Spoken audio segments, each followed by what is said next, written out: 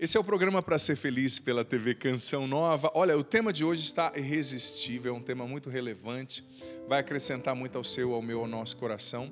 O tema é o seguinte: você sabe como enfrentar as provações, como lidar com as provações? Elas são inevitáveis, não é? As dificuldades que se interpõem entre nós e a concretização, a realização dos nossos sonhos, das nossas metas, estão aí todos os dias nos visitando. Nós vamos aprender com a palavra de Deus como lidar com as provações, como superá-las e como aprender coisas muito especiais com elas. Talvez hoje você está num dia aí meio cansado, cansada, com a cabeça cheia de tanta coisa, agitado, agitado, ó. Respira, deixa o WhatsApp aí um momento, deixa esse celular aí que você está vendo tanta coisa e para para ouvir a palavra de Deus. Ele quer falar com você. Vamos começar cantando. O sol vai se pondo, mas um dia vai chegando ao fim. A chama da esperança ainda queima no coração. A estrada é muito longa, mas a vida não acabou. Eu sei, meus olhos não enxergam a vitória, mas existe um Deus de amor que me ensina a não perder a fé. E mesmo se a fé é pequena, milagres acontecerão. Vou confiar no Deus da aliança que abriu o mar vermelho quando não havia mais saída. Vou confiar deu teu filho para nos salvar e nos deu aliança eterna. Vou confiar. Cante isso mais uma vez. Vou confiar no Deus da aliança. Solta a voz, canta. Vou confiar no Deus da aliança que abriu o mar vermelho quando não havia mais saída, vou confiar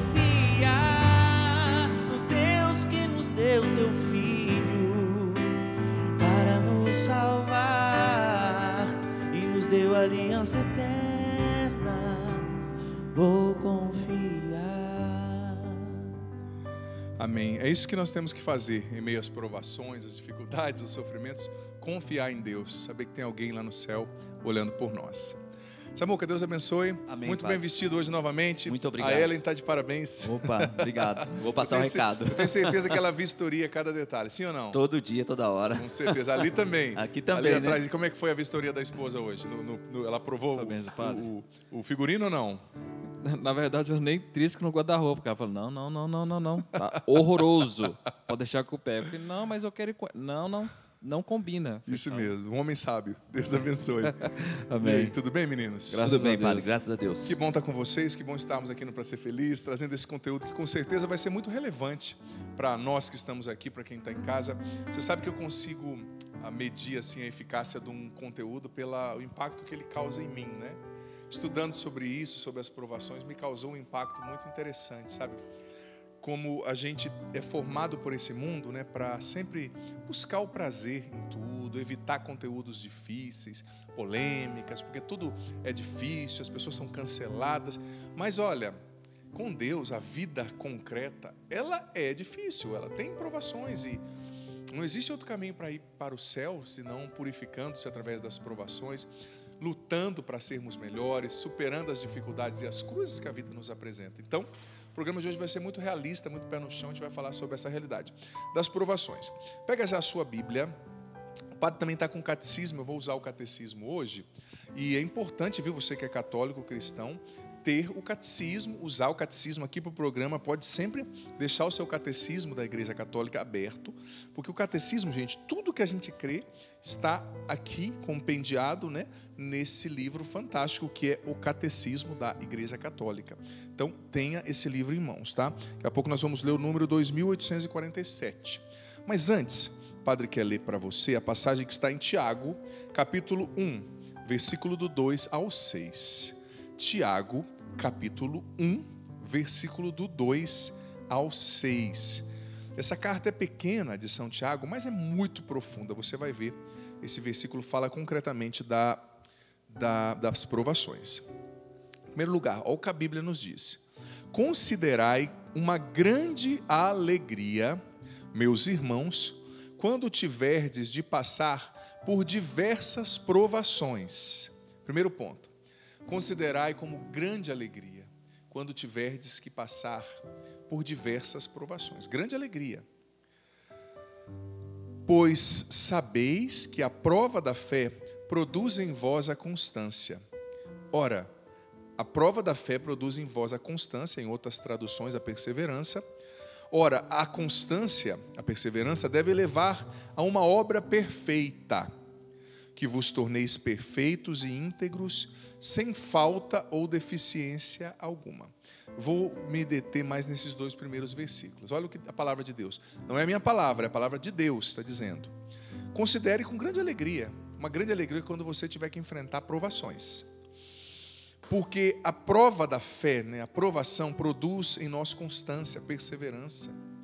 E essa constância nos leva, faz com que a obra perfeita de Deus aconteça em nós. Porque se a gente não persevera, como Deus vai concluir a sua obra, né? Ele não deixa inacabada a obra que ele começou, mas é preciso da nossa parte perseverança, né? E a obra perfeita que vos tornei perfeitos e íntegros, sem falta ou deficiência alguma. Então a aprovação, em primeiro lugar, filho, filha, ela não vem para nos destruir. A aprovação não é uma punição de Deus para você, sabe? Não é uma punição do Pai, porque você não é uma pessoa boa. E às vezes, quando a gente é provado, a gente corre o risco de analisar de maneira tão egoísta, né? Ah, por que isso aconteceu comigo, com a minha família? Olha ao seu redor. Olha quanta gente sofrendo no mundo, né? Muitas pessoas estão sofrendo, sendo provadas, arcando também com as consequências das suas más escolhas, que tem isso também, né?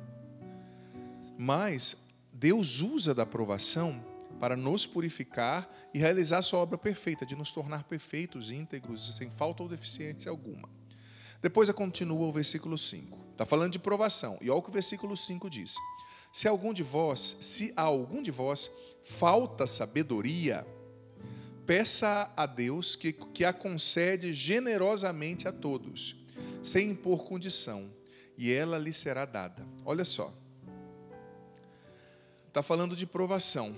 E ao falar de provação, a Bíblia diz que nós devemos pedir a Deus sabedoria para enfrentar a provação. Sabedoria. Porque peça com, com confiança, né? Que ele concederá essa sabedoria generosamente a todos. Depois, versículo 6. Mas peça com fé, sem duvidar, porque aquele que duvida é semelhante a uma onda do mar, impelida e agitada pelo vento. Então veja bem, Todos nós enfrentaremos provações. Talvez você esteja no meio de uma provação no seu casamento, na sua saúde, a enfermidade que chegou, né? Talvez você esteja numa provação financeira, uma provação espiritual, a provação da depressão, da ansiedade, da rejeição, de não ter se casado, de ter um marido que bebe, que trai. Eu não sei. Mas, e depois eu vou explicar também a diferença entre provação e tentação, né? É importante a gente saber. Mas olha só, enfrenta com alegria suas provações. Porque a prova da fé produz a perseverança, a constância. A constância nos faz com que a obra perfeita de Deus se atualize em nós. E para enfrentar a aprovação, a gente precisa de sabedoria. Santiago está nos dando o caminho. Nós precisamos pedir a Deus sabedoria, que generosamente Ele a dará. Em outras traduções, com alegria ele a dará, né? Então veja bem, está lançado aqui o alicerce da reflexão do Padre. Se alegrar na aprovação, ser perseverante, pedir sabedoria. E nós vamos daqui a pouco, o Padre daqui a pouco vai falar sobre os frutos da sabedoria de Deus, quando nós a pedimos e ela se concretiza na nossa vida. E claro, não é que eu pedi sabedoria e veio um chip na minha cabeça, com tudo que eu preciso saber e fazer. Não, não. Existe a parte humana. Eu vou falar um pouco também das características dessa sabedoria, sabe? O que é a sabedoria de Deus em meio à provação? Que, que, que fruto ela gera para nós enfrentarmos a provação? Mas antes disso, eu quero ler o Catecismo da Igreja Católica, número 2000 2847. 2847. Preste atenção. O Espírito Santo nos faz discernir entre a provação necessária ao crescimento do homem interior, em vista de uma virtude comprovada, e a tentação que leva ao pecado e à morte. O catecismo está falando isso, citando aqui, duas, trazendo duas citações bíblicas. Tiago 1,14, né, que diz que quem consente a tentação, né, a tentação consentida leva ao pecado e à morte. E também Romanos 5, do 3 ao 5, dizendo né, que a aprovação nos leva a uma virtude comprovada. Continuando. Devemos também discernir entre ser tentado e consentir, ser tentado e consentir na tentação. Por fim, o discernimento desmascara a mentira da tentação. Aparentemente, seu objeto é atraente para os olhos, desejável para obter conhecimento, como a serpente falou para Eva antes de Eva comer a maçã, né? Ao passo que, na realidade, o fruto da tentação é a morte. Uh, depois eu vou ler uma outra parte aqui, que é uma citação de Orígenes, né, do teólogo Orígenes do século IV, no tratado De Oratione, falando ainda sobre a tentação, né, que no catecismo está trazendo, ainda no número 2847. Mas veja bem, o Espírito Santo nos faz discernir entre a provação e a tentação. A provação é um sofrimento que Deus permite para nos purificar, para purificar a nossa fé. A provação é uma permissão de Deus. A tentação vem do diabo e vem da nossa natureza decaída.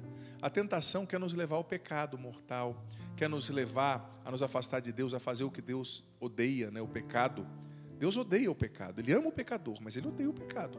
Posso dizer isso, é bíblico, né? É duro esse termo, mas é bíblico. Por isso que às vezes a gente prega com firmeza contra o pecado. Ai, você é preconceituoso. Não é preconceituoso. Nós estamos falando da palavra de Deus, só que nós estamos num tempo em que juridicamente estão amarrando os profetas. Se você falar sobre a Bíblia, você está odiando, você. Não, a gente não está julgando as pessoas, a gente está falando da palavra de Deus. Quem quiser viver, vive. Quem não quiser, paciência. Mas a tentação leva ao pecado, e o pecado é mau e leva à morte. Né? O salário do pecado é a morte. Romanos 6,13. Então é preciso discernir, né? A tentação vem do diabo e a aprovação vem de Deus tentação te leva ao pecado, te leva ao adultério, te leva à bebida, te leva à impureza, te leva a voltar aos pecados do passado, te leva à mentira. E o catecismo ainda fala: é preciso discernir entre ser tentado e consentir. Porque não é porque você foi tentado que você está pecando. Se você não consentiu na tentação, né? Você não pecou. E às vezes o inimigo é muito sedutor. Você vai e faz uma coisa que não devia. Vem aquela vozinha: ah, você já pisou na bola mesmo, vai até o fim. Não, não. Se é uma tentação, e você não fez aquilo que a tentação sugeriu, por mais que você considerou, não é pecado. E mesmo se você consentiu momentaneamente, não precisa meter o pé na jaca, né? Sempre dá tempo de voltar, busca a confissão, recomeça, né? Depois, olha só, vou tratar então, trazer então esse texto de Orígenes do, século IV. Deus não quer impor o bem, quer seres livres. A tentação, dizia Orígenes, tem uma utilidade. Olha, presta atenção. Ninguém, com exceção de Deus, sabe o que a nossa alma recebeu mesmo de Deus, nem nós mesmos. Mas a tentação o manifesta, para nos ensinar a nos conhecermos a nós mesmos, de modo a descobrirmos com nossos olhos a nossa miséria e nos obrigarmos a dar graças pelos bens que a tentação nos possibilitou reconhecer. Olha o que Orígenes disse no Tratado de Oratione, que está aqui ainda no número 2847 do Catecismo. Presta atenção. Orígenes está falando da utilidade da tentação. Existe uma utilidade, senão Deus da, da provação e da tentação, né? Ele está falando, tá falando agora da tentação, né? Existe também uma utilidade. Por quê? Porque a tentação, dizia Orígenes, ela revela a nós mesmos a nossa miséria. Ela revela como sem a graça de Deus nós estaríamos perdidos. Ela revela, às vezes Deus usa, eu sou padre pregador, posso dizer, né? Deus te usa tanto para fazer uma coisa tão admirável, e logo depois daquilo você comete um pecado besta, sabe? Às vezes perde a paciência, fala o que não deve. Aí parece que Deus está te falando: olha, tá vendo? É eu que faço, você é essa miséria aí. você, sem a minha graça, está perdido, né?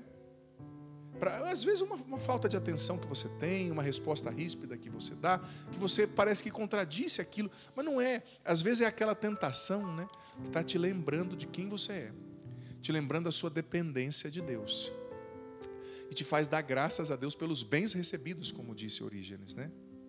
Os bens recebidos dele, a tentação é como uma peneira que separa o joio e o trigo dentro de nós.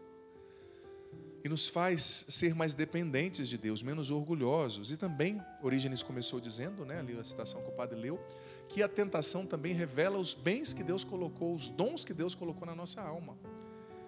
Olha, o nosso melhor e o nosso pior vem no momento de tentação e de sofrimento. O seu pior, nossa, eu não sabia que eu tinha essa tendência, que eu era capaz de fazer isso mas também o seu melhor, o dom que Deus colocou, a, a, fortaleza, a sabedoria, a humildade de pedir ajuda, de pedir perdão, de buscar confissão. Tudo vem à tona também esses dons, quando a gente é peneirado pela tentação e pelas provações. Mas já trouxe o catecismo, a base está muito boa aqui, você entendeu? Agora eu quero trazer, continuar a reflexão sobre aquilo que São Tiago falou. Peça sabedoria para enfrentar a provação. Peça sabedoria. E biblicamente, eu trouxe aqui, eu tenho várias citações que eu poderia trazer, mas eu não vou trazer todas as citações para não ficar muito enfadonho, né? O tempo do padre é curto, mas tudo aqui está fundamentado na Bíblia, né? Qual é o primeiro fruto da sabedoria de Deus? Que a gente precisa ter para enfrentar a provação. Santiago falou para a gente pedir sabedoria. Deus quer dar, mas também a gente tem que corresponder à sabedoria, agindo conforme a esses frutos que eu vou falar aqui. Primeiro fruto da sabedoria é a esperança. Sim, porque a esperança te faz enfrentar a provação sem desespero, né? Sem desesperançar. Porque muitas vezes no sofrimento, na provação, na angústia, sabe? A nossa tendência é tirar os olhos de Deus, é desesperar, é se angustiar, é perder a esperança.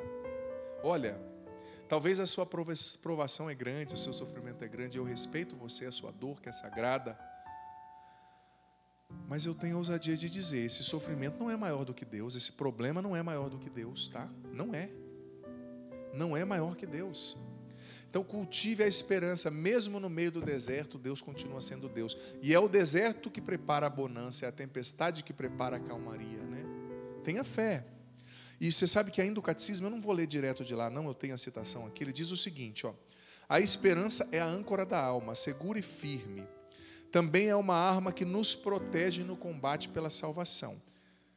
Ela nos traz alegria, mesmo na provação. Olha o que o catecismo está dizendo, número 1820. A esperança, ele está citando várias citações bíblicas aqui, né? Quem conhece a Bíblia já sabe que eu trouxe algumas citações bíblicas aqui dentro do, desse número do catecismo, porque ele é todo fundamentado na Bíblia, né? no escrito dos santos, na tradição. A esperança nos dá alegria, mesmo na provação. Porque o diabo ele é especialista em roubar a nossa paz. Ele quer que você perca a paz. Ele quer que você se inquiete, ele quer que você fique triste. Mas no meio dessa provação, Deus quer que você se alegre. Deus quer que você tenha esperança. Não é que você vai ser um bobo alegre, ah, eu estou sofrendo e estou rindo. Não, não. Você se alegra não pela situação desastrosa do presente, mas porque você já antevê pela esperança e pela fé a obra maravilhosa que Deus já está fazendo, está preparando para você. Deus está preparando uma obra maravilhosa, então enfrente a aprovação como esperança, que é fruto da sabedoria que Santiago nos ensinou a pedir. Então se adeque também ao que você pede, né? O que, que adianta você pedir sabedoria se você não agir de acordo com os frutos da sabedoria? Adeque o seu comportamento, o seu caráter, as suas emoções ao que você pede. Enfrente a aprovação com esperança. E o que alimenta a esperança? A oração, a leitura das, da palavra de Deus, das promessas de Deus na Bíblia, né? Enfrente a aprovação com esperança. Porque olha, se você perde a esperança, você perde o alicerce, o fundamento para estar em pé. Padre, eu estou sofrendo muito, mas Deus é Deus. Ele pode tirar um bem maior de tudo isso. Ele pode te exaltar nessa situação difícil, sim. Ele é Deus, ele é fiel. Primeiro fruto da sabedoria é a esperança. Enfrente a aprovação com esperança. O fundamento disso também, Romanos 12, 12, Romanos 5, 5, né? O segundo fruto da sabedoria que Deus quer nos dar, que Santiago nos ensina a pedir, a confiança. Quem tem a sabedoria de Deus enfrenta a aprovação com esperança, mas também com confiança em Deus. É, e a esperança e a confiança elas estão ligadas, você percebe? Parece que uma é o desdobramento da outra, né? Quem tem esperança confia, e quem confia tem esperança. Olha, tem uma frase falando disso, Santo Afonso de Maria de Ligório falou disso de uma maneira fantástica. E olha que Santo Afonso falou: da confiança em Deus nasce nos santos aquela inalterável tranquilidade que os faz alegres e sossegados, até mesmo no meio das provações, até mesmo no meio das contrariedades. Repito o que Santo Afonso nos ensina, doutor da igreja. Da confiança em Deus nasce nos santos aquela inalterável tranquilidade. Estão sofrendo, mas estão ali em paz porque confiam que os faz alegres, sempre alegres e sossegados, até mesmo no meio das contrariedades, das provações. Olha que coisa linda. Não é que você não vai sofrer, não é que você não vai ter ansiedade, faz parte da vida. Tem coisas que a gente nem controla na nossa mente, nossos pensamentos vêm e vão. O estado alterado das emoções da mente, né? Mas olha, se a gente vai treinando o nosso coração para confiar, a gente vai tendo mais uh, sossego, mais confiança para enfrentar as provações. Você sabe que eu gosto muito de ler os, os, livros dos santos, eu digo que todo cristão tem que ler os escritos dos santos, né? Eu vou começar a quaresma de São Miguel fazendo no meu canal todas as noites, às 21 horas, né? E eu vou falar bastante, dos, falar também dos escritos dos santos, né, de alguma forma, vou tentar diluir. E eu gosto muito de ler, diluir no ensinamento, né? Eu gosto muito de ler, filho, filha, os ensinamentos de santos mais velhos. Claro, todo santo é santo, né? Santa Gema Galgani, que morreu Rio Nova, é fantástica. Santa Terezinha do Menino Jesus. Mas eu gosto desses santos mais velhos e experimentados, como Santo Afonso. Santo Afonso, se eu não me engano, morreu com 90, 91 anos, uma coisa assim. Se eu não me engano, ele morreu, morreu idoso para a época, né? Ele morreu cego, dizem, e surdo, né? Mas a pessoa mais velha, que vai envelhecendo com sabedoria, né? Porque envelhecer sem oração, sem sabedoria, não é nada, não tem nada de bom. Mas a pessoa mais velha que envelhece com sabedoria, com oração, ela vai adquirindo, sabe, sobretudo o santo mais velho, uma confiança em Deus, sabe? Ela se adquire essa tranquilidade inalterável. Em primeiro lugar, ela entende que nem tudo é perfeito, que a vida tem problemas. E ela entende que o problema de hoje não vai te matar que o não que recebeu, que a falta de dinheiro não vai matar a sua vida. Ela já passou por tanta coisa que ela já entendeu que sempre tem uma solução, sempre tem uma saída, né? Então, a confiança em Deus é fruto dessa sabedoria. Nós precisamos enfrentar sabedoria com confiança, pedindo a Deus, ou desculpa, aprovação com confiança, que é fruto da sabedoria, pedindo a Deus a sabedoria e vivendo o abandono. Outra frase sobre confiança. Santa Benedita da Cruz, Edith Stein, fantástica. Coloque todas as suas preocupações sobre o futuro com confiança nas mãos de Deus. E deixe-se guiar pelo Senhor como uma criança. Olha só que lindo. O tempo é curto, mas eu quero falar sobre o terceiro e último fruto da sabedoria que vem de Deus. E esse é fantástico. A paciência. Santo Agostinho dizia que não existe sabedoria onde não há paciência, e não há paciência onde não há sabedoria. A paciência é um desdobramento da sabedoria. Olha, e Deus não nos leva a um novo nível, muitas vezes, na vida espiritual, no progresso que a gente precisa, em todas as áreas, enquanto a gente não aprende a crescer na paciência. Enquanto nós não submetemos o nosso temperamento às características de Deus, às virtudes de Deus, e Deus é paciente. O amor, diz a carta de São Paulo aos Coríntios, capítulo 13, o hino à caridade, é paciente. Então veja bem, eu não estou falando de uma paciência natural, de um temperamento fleumático apenas, apenas eu estou falando de uma paciência que é uma virtude adquirida, uma característica divina, né? Sabe? Sabe, toda promessa bíblica demorou. José do Egito, todos, todos viveram, né? Demoras. Uh, Abraão, Moisés, mas todos os homens e mulheres de Deus aprenderam a crescer na paciência. E sem paciência na aprovação, você não tem sabedoria. E sem sabedoria, ao invés de você crescer na aprovação, você decresce. Então, peça a Deus a graça da sabedoria e tenha paciência. O sofrimento de hoje, ele vai passar. O defeito dessa pessoa, você também tem defeito. Tenha paciência com ela. Com a fragilidade, quantos casamentos e relacionamentos acabam por falta de paciência? Paciência que é fruto do amor. Você se foca às vezes só no defeito do outro e esquece de ver o que ele tem de bom. Paciência que é fruto da sabedoria, em frente à aprovação, pedindo sabedoria e vivendo a esperança, a confiança em Deus e a paciência. Vamos cantar agora, indo para um breve intervalo. E ó, veja bem, segundo bloco é você. Twitter, Facebook, Instagram, WhatsApp. Você vai mandar sua mensagem, o padre está aqui para responder você com muito carinho, com muita alegria. Cantemos. Vou confiar no Deus da aliança que abriu o mar vermelho quando não havia mais saída. Vou confiar no Deus que nos deu teu filho para nos salvar e nos deu aliança eterna. Vou confiar. Meu Senhor e meu Deus, meu Senhor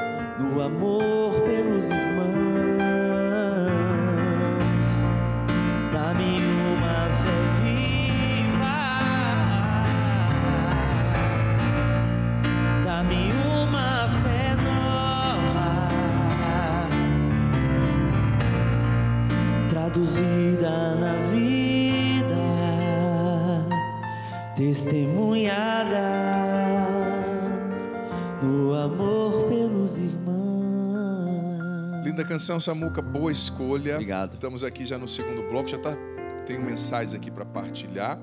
Mas antes disso, eu quero acolher vocês, saber dizer que nesse segundo bloco, né, mantenha o ritmo. Às vezes, mesmo quando a gente não consegue estar em todos os programas ao vivo, eu gosto de manter esse ritmo aí das mensagens, porque vão chegando e a gente vai respondendo depois, né? Tem esse banco de mensagens para nós também. Com muito carinho, a gente reza também pela sua intenção, pelo, pelo tudo que você apresenta. Olha, ah, WhatsApp, Facebook, Twitter, Instagram está aparecendo na sua tela, senão já vai aparecer. Sobretudo o Instagram, que o padre vê com mais frequência, mas pode mandar também por outros meios, tá? Manda sua mensagem, eu estou aqui para responder você, para ser sacerdote, para de fato trazer o conteúdo que você precisa nesse momento, tá bom?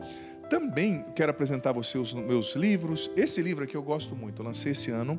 Orações pela Libertação da Ansiedade é um livro pequeno, mas com orações muito singulares, muito chave. Tais como oração para acalmar a mente, oração pela libertação da ansiedade, oração de sujeição, de submissão dos raciocínios, da mente agitada ao senhorio de Jesus, oração pela libertação do mal físico, espiritual, emocional, oração de cura das feridas interiores, muitas orações de abandono em Deus, muito especiais, vão te ajudar. E do lado de lá, o meu livro A Libertação da Mente Ansiosa. Tudo isso você adquire no loja.cançãonova.com e também eu digo que para a quaresma de São Miguel Arcanjo, para os 40 dias com São Miguel que eu vou conduzir no meu canal, às 21 horas de, né, no tempo da quaresma, você pode encontrar também no Davi o kit da quaresma de São Miguel Arcanjo, de São Miguel Arcanjo, que é a vela de São Miguel, o texto de São Miguel e o devocionário a São Miguel Arcanjo. Né? Eu vou usar bastante uh, o devocionário ao longo das lives também, às 21 horas sempre. Nas terças vai ser uma correria, acabar o programa sempre e correr para as lives. Samuca, fiquei sabendo que tem carta aí para nós, você partilha conosco, Temos por gentileza. cartas especiais aqui. Vamos Essa lá. primeira carta é da Benedita. Ela é de Mar Vermelho, Alagoas. Mar Vermelho, Alagoas. Benedita, ela tem 86 anos e ela passou por uma cirurgia, teve que amputar as pernas por causa de uma Nossa. trombose que ela adquiriu e passou por essa essa doença precisou amputar as pernas. E ela disse que por ficar muito tempo acamada, ela está sempre assistindo aqui a canção nova e pediu para o senhor mandar um abraço especial. Ela até Repete frisou o nome, aqui. por gentileza. Benedita. Benedita. Eu lembro que eu já tinha lido a carta da Benedita. Ela Ela, me disse, falou padre. que ela está com as duas pernas amputadas, que a canção nova é a companheira dela. Isso mesmo. Lá de Alagoas? De Mar Vermelho, Alagoas. Então, Benedita, um abraço, um beijo no seu coração e uma bênção, viu, filha? Deus ilumine você. Imagina a sua luta, mas olha, ela escreveu na carta, Samuel me corri se eu estiver errado. Padre, perdi as pernas, mas minha fé continua ativa. Ela partilhou assim, né? Que ela continua com essa fé no coração. Isso Isso, é um exemplo para nós, é um sinal de vida para nós, né? Um exemplo de vida, melhor dizendo. Filho, pode ler, fica à vontade. E temos mais uma carta aqui, padre, da Lídia Ramos. E essa carta é internacional, hein? Olha só, vamos lá. Ela é brasileira, mas está cuidando da filha lá na Austrália, né? De a cidade de Port Kennedy, na Austrália. Ó, gostei da pronúncia aí do Port Samuca, hein? Kennedy. O Samu- o Samuca só, só me orando no inglês, hein? Cada vez mais. Every um single dia- day. Daqui um dia ele vai chegar assim, Hey father, what's going on? Oh, muito bom. É, e ela disse que está lá cuidando da filha, mas ela, ela é de Porto Alegre, do Rio Grande do Sul. E manda um abraço para o senhor e pediu orações pelos filhos. Então tá bom. Lá para a Austrália também um abraço, um beijo no coração. Muita gente acompanha Samuca fora do país também, né? Que bom. Faz acontecer a nossa programação fora do país. Estou muito feliz por essas, por essas cartas. Ah, também quero abraçar com carinho ah, os amigos lá de Belém do Pará que acompanham muito a Canção Nova também. Muita gente boa por aí. Também os brasileiros lá nos Estados Unidos acompanhando a Canção Nova. E tem americanos, viu? Que vão vendo, às vezes, os programas, as coisas que eu posto. Eles colocam a legenda, claro que eles não entendem português, a grande maioria deles. Inclusive, esses dias eu vi uma homilia do senhor em inglês no Instagram, fiquei muito orgulhoso. Você ouviu? Eu ouvi, vi. E o inglês, estava bom ou Tava não? ótimo. awesome. Que bom, olha só, gente. Daqui uns dias nós vamos fazer um. Eu vou pedir pro Samuel cantar só em inglês aqui, ó. Tá bom demais? E você toca em inglês, tá? Isso aí, Opa, deixa comigo. Tocar não tem jeito, é sempre a mesma coisa, né? Só muda o nome dos acordes, mas a lógica é a mesma. Que bom, obrigado, irmãos. Vamos lá então. Olha, o Instagram já está aqui com muitas mensagens. Eu sempre recebo muitas mensagens, como eu digo, às vezes mensagens de agora, mensagens antigas que o padre recebe, né? E, e- e sempre traz aqui também.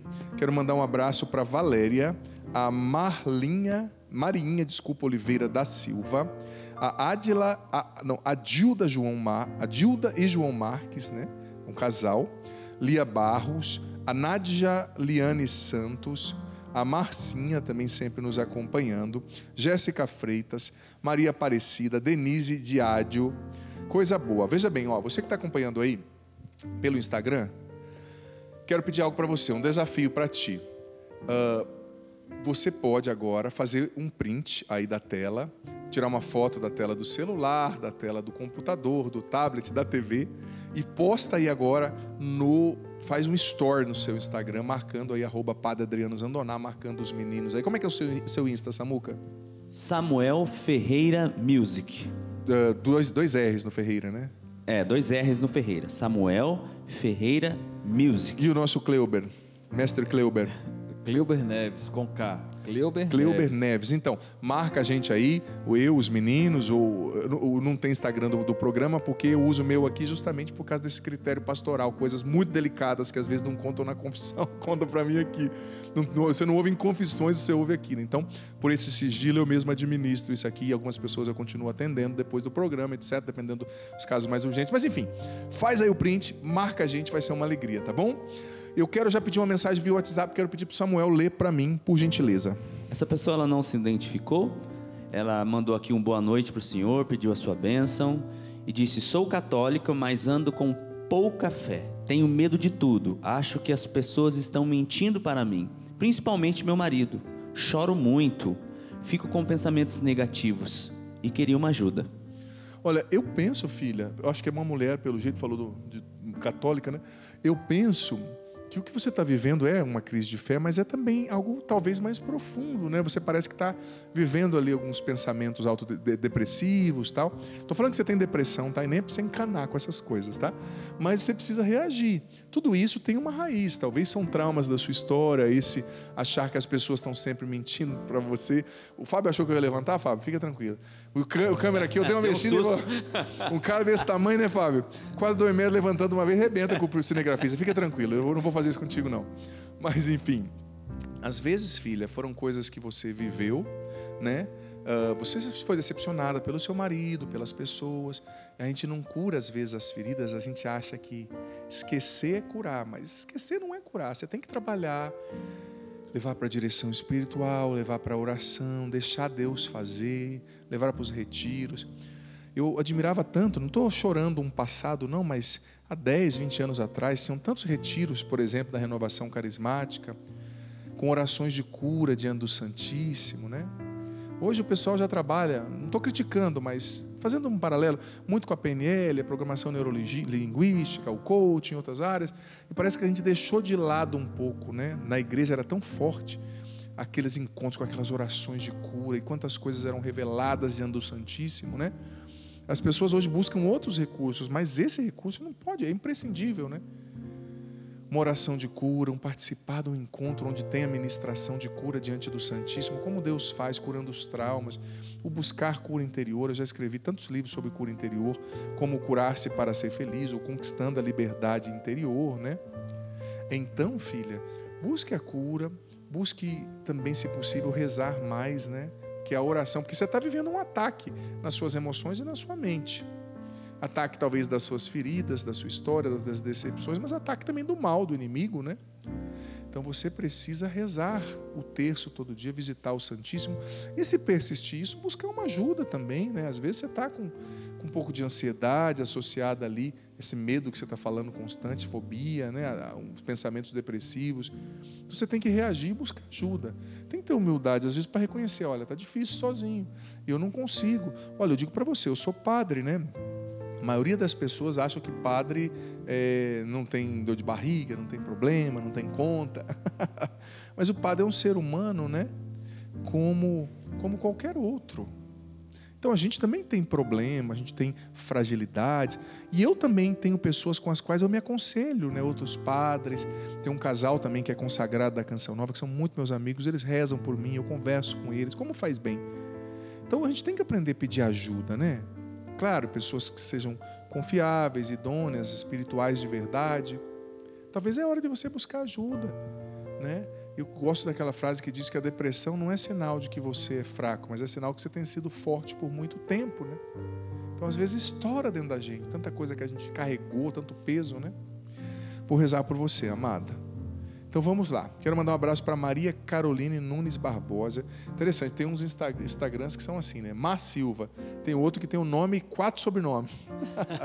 só para dificultar a, a, a, o trabalho do, apresentador. Tradução só de Mas eu já falei para o Samuca que o trabalho aqui não é fácil, não. Você sabia? O programa ao vivo, por exemplo, você, o Samuel está lendo a mensagem, eu estou vendo a mensagem que está chegando, estou respondendo e às vezes vendo e crivando, né? Porque nem todas dá para ler, tem coisas que não precisa ser lido, não são tão relevantes, né? Então é complicado. A gente tem que. O celular hoje é imprescindível, mas aqui é, é a chapa ferve. O senhor dá conta, padre. Oh, em nome de Jesus. Vamos lá. Uh, um abraço a Wanda Buriti, também a Caro, Caroline Alcântara, pedindo, apresentando aqui também suas intenções. Um abraço ainda a Lia Barros. Nossa, muita gente conosco a Renata Dias, a Aline Zandoná sempre nos acompanhando, a Suiane pedindo oração pela filha Gabriele, pedindo oração pela filha Gabriele, também o Rafael conosco, a Cidinha Anjos Souza também aqui conosco, muita gente. Mas hoje eu quero uh, privilegiar bastante as mensagens pelo WhatsApp, não obstante as do, do Instagram, estou recebendo todas também. Mas Samuca, lê para nós, se tiver mais uma mensagem, se a produção tiver Vamos já, lá. Mais uma mensagem pelo Zap, pelo Zap Zap, como dizia um amigo meu. Boa noite, padre. Meu marido me trai há muito tempo. Sempre descubro tudo o que ele faz. Já batalhei pelo meu casamento, mas estou cansada. O que fazer? Olha, filha, é um tipo de coisa muito complexa, né? Eu vou. Agora eu vou levantar, viu, Fábio? Já dei susto no Fábio, agora. Fábio é o nosso cinegrafista, gente boa, que torce para o melhor time do Brasil, não vou dizer qual. Mas, amada, veja bem, eu respeito a, a luta sua, né? acho que é louvável, só que também você tem que pesar na balança. Se chegar um ponto que te adoeceu, né? Você não aguenta mais. Não estou falando para você separar e casar de novo, não. Eu acho que o cristão de verdade, que chegou um ponto que te adoeceu um relacionamento. Padre, eu não consigo mais ficar junto. Tudo bem, mas viva então, né? Ou você vive o celibato, se guarde para Deus, ou se tiver um critério de nulidade, você vai atrás para ver se tem um critério de nulidade matrimonial, entra em contato com o tribunal eclesiástico da sua diocese. Mas veja bem, eu acho louvável você lutar, mas eu não sei quanto tempo é esse muito tempo. Se o teu marido está te traindo por 20 anos, na tua frente, já nem esconde mais, olha, você é livre para continuar lutando pelos filhos, pela família, ou para também, talvez você vai falar, padre, eu preciso ter um pouco de amor próprio, né? não dá para viver assim. Eu vou te entender, sabe? E Deus também. Então, claro, mas não vai sair pecando, metendo o pé pelas mãos, né? Ah, ele pecou, então agora eu vou pecar. Não, você não quer ir para o céu, você não é católico, então vamos viver né, com coerência. Estou falando para você largar e casar de novo. Não, estou falando para você olhar para dentro de você, rezar se você vê, não, não dá, padre, eu preciso ter amor próprio, meus filhos já cresceram, não vai impactar, porque às vezes um sacrifício é pelos filhos também, né? Estão crescendo, são crianças, são adolescentes, precisam ali daquela figura.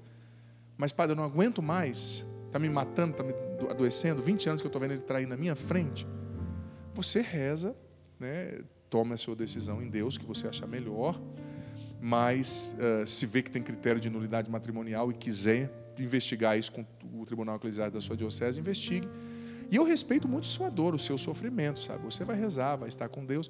Porque acontece, sabe? Casos nos quais há 30 anos eu já vi. O marido está traindo, não esconde para a mulher, leva a mulher para dentro de casa, outras mulheres para dentro de casa, tira o dinheiro da mulher para dar para as prostitutas. Então, pô, tem que ter um pouco de amor próprio, né? Não tem mais nada a ver, né? Então, é você que vai decidir. Não estou falando contra o casamento, não me interprete mal. Estou falando na sua realidade específica. E eu não sei quanto tempo é muito tempo. Estou hipotetizando aqui, né, fazendo uma dedução hipotética. É isso. Zelinha lá do Rio Grande do Norte conosco também. Muita gente aqui. A Rayane também nos acompanhando. Rayane Fraga lá de Aracaju, filhinha linda, recém-nascida. Ziziane da Silva Carneiro. Gil Tavares também conosco. Uh, muita gente fazendo acontecer aqui o nosso programa pelo Instagram. Obrigado, viu? Às vezes o padre não consegue responder todo mundo, peço perdão, mas a gente reza pelas intenções que chegam aqui, pelos pedidos, por você que se dedica a fazer acontecer o programa para ser feliz. Samuca, tem mais mensagem para nós? Vamos para mais uma. Tá. Ah, ok. Boa noite, padre. Cometi adultério há muitos anos atrás e me arrependi profundamente. Confessei e peço a misericórdia de Deus nesse caso, não verei a face de Deus? Veja bem, isso é, é, é bom o padre falar, porque tem coisas que para nós são óbvias, né? Talvez assim, para um padre, para consagrados, mas as pessoas não são. Segura a mensagem, por gentileza, produção, um minutinho. Mas se você se arrependeu e confessou, o seu pecado foi apagado, acabou. Como diz o profeta Miqueias, Deus jogou esse pecado no fundo do mar, tá? Claro, todo pecado, a confissão, ela paga a pena espiritual, a culpa do pecado. Mas existem as consequências temporais. E muitas vezes nós vamos sofrer algumas coisas na vida, nós vamos viver purificações justamente para pagar as penas temporais, né? Porque se a pessoa morre perdoada dos pecados na confissão, mas sem pagar as penas temporais, as consequências, ela vai para o purgatório, porque ela não pode ir para o céu, para depois se purificar e ir para o céu, né? Então, uma analogia que eu já dei aqui e gosto de usar. Por exemplo, eu dei um murro no olho do Samuel. Samuel, muito gente boa, falou: Padre, eu te perdoo, tal, tranquilo. Só que talvez eu tenha danificado o olho dele. Tudo bem, ele me perdoou, mas ele vai ter que ir no oftalmo, talvez ele vai ter que fazer uma cirurgia. Eu tenho que pagar essa cirurgia para ele. Eu tenho que dar dinheiro para ele pagar a consulta. Eu tenho que reparar o mal que eu fiz. Tudo bem, ele me perdoou, mas existe uma consequência. Samuel vai e bate no meu carro. Ah, Samuel, você é gente boa, tranquilo. Tudo bem, eu perdoo ele. Mas ele vai ter que pagar, pelo menos a franquia do seguro, ou, ou o que estragou no meu carro. É justo, tem que reparar. Então, para isso existe a indulgência. O catecismo nos ensina que a igreja é dispensadora dos méritos de, dos santos, né?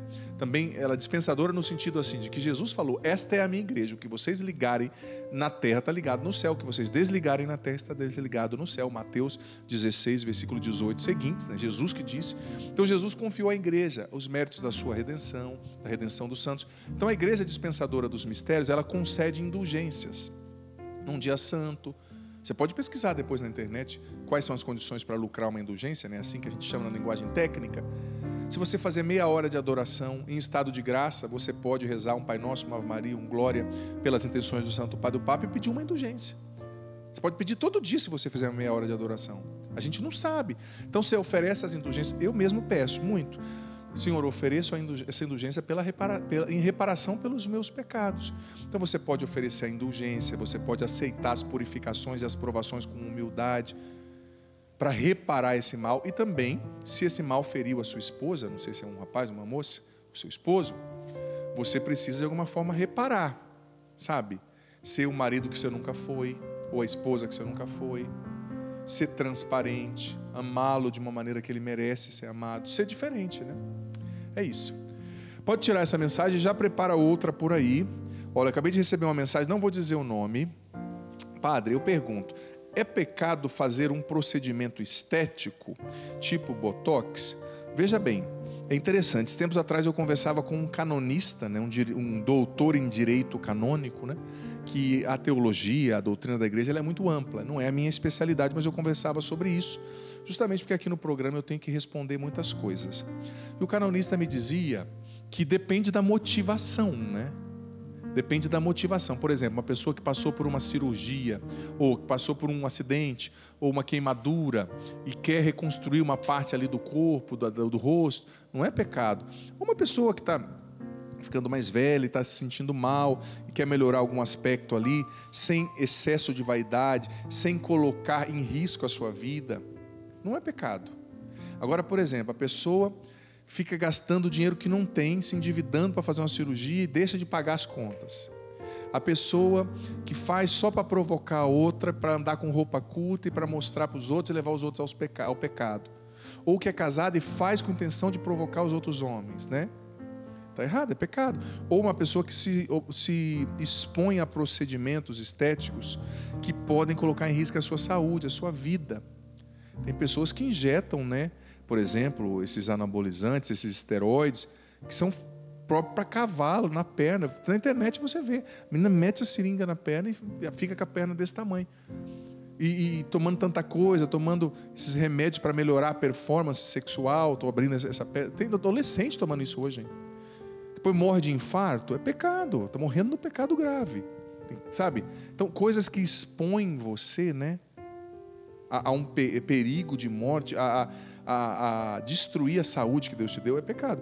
Mas se é uma coisa para você se sentir bem, sabe? Porque tem pessoas que às vezes não se sentem bem, sabe? Não vou dizer o nome da pessoa aqui, né? A pessoa não se sente bem. Talvez ela faz o procedimento ali, não é para o outro, é para ela se sentir bem, para ela se sentir bem com o marido. Aí você tem que julgar a intenção, conversar com o padre, talvez o seu diretor espiritual, se você tiver. Mas assim não é pecado, tá? Samuca, temos mais mensagem. Quanto tempo nós temos na produção? Deixa eu perguntar aqui para a produção. Cinco minutos. Samuca, vamos ver se tem mais uma mensagem. Se tiver, e se não for temos muito sim. complexa, você lê para nós. Se for muito complexa, não dá tempo do padre responder. Essa né? é um pouco complexa. Pode ir para o Instagram, padre. Tá, tá bom. Então tá certo. Vamos lá. Ou melhor, se a produção tiver uma outra menos complexa, coloca aí que o meu Instagram deu uma travadinha aqui, mas vamos lá, vou tentando. É assim, né? É aqui assim, o programa né? é ritmo é de dinâmico. ao vivo sempre. Vamos lá, pera aí então enquanto. Uh, pera aí. Ah, ok. Padre, pode me, me dar uma palavra se sentir que é de Deus para mim? A Ana Sofia, pelo jeito ela está vivendo uma situação de tristeza aqui. Olha, eu vou te dar uma palavra assim. Eu sei que é bem genérico, mas foi a mensagem que eu consegui abrir aqui. A palavra de Deus para você, filha, e para todos vocês que estão acompanhando agora, quero profetizar.